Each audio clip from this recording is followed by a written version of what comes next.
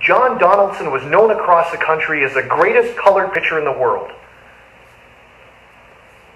Pitching on the diamonds of baseball's segregated stage, Donaldson proved that no one could be found to equal his talent outside the walls of the organized leagues.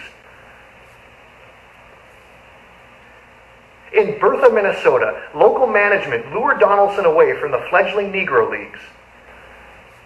The storied Kansas City Monarchs black baseball team would not match Bertha's offer of $325 a month. Playing alongside the local home talent, Donaldson paced the Bertha Fishermen to the 1924 Minnesota Semi-Professional Championship, winning 21 of 24 games pitched.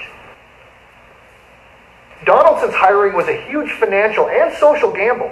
The Bertha fishermen entered the 1924 season $1,500 in debt. However, with the name Donaldson gracing their scorecards, more than 22,000 fans eagerly handed over their two bits to catch a glimpse of the famed pitching ace. Years later, people remembered his impact, saying, His color never bothered us. We were all baseball. John Donaldson brought fame to Bertha. Many tried to fathom John Donaldson's abilities, comparing him to the best white pitchers of that era.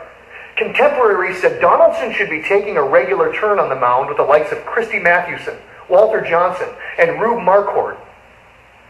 John Donaldson helped change the face of baseball history one diamond at a time and should be remembered as one of the most talented and graceful players in the history of the sport.